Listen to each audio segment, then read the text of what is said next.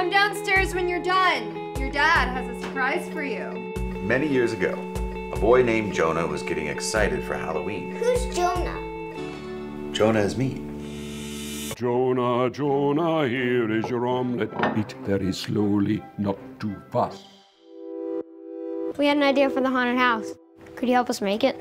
Jonah, I'm gonna be really busy this fall. Why did Papa D not want to help? He hadn't built anything for a while. What was his last project? You guys know the game Skelly, right? Let me show you how they work. You took a street game from Brooklyn and the Bronx and turned it into a parlor game? What inspired you? It was a gift from my dad. Do you ever think about death? I spent all this time making this for him, and now I just wish I would have spent that time with him. You know, I was thinking last night about that guillotine scene, how you guys could do it. Oh, that's so cool.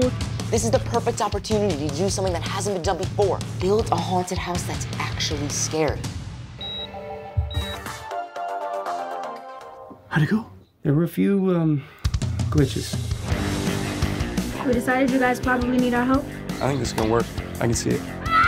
Yeah, let's go! Made a real haunted house.